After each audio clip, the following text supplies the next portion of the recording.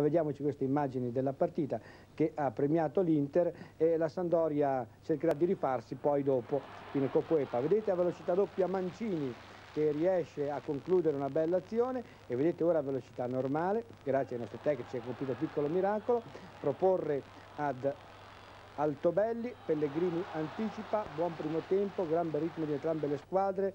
E con la Sandoria che ha accusato le assenze di Sunes e Vialli.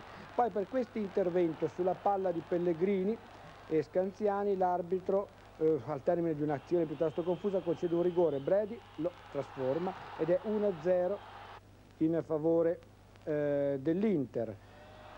Per questo fallo di Baresi su Salsano, altro rigore. Francis tira da fermo, ma che tira da fermo sempre allo stesso posto si fa parare i rigori. Sassano spreca il buon inizio di campionato sprecando questi palloni.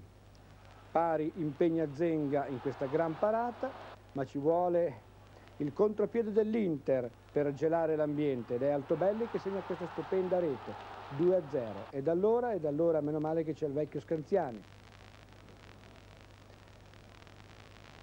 Eccolo, gran tiro, gran botta e 2 a 1. A te la linea Paolo Valenti.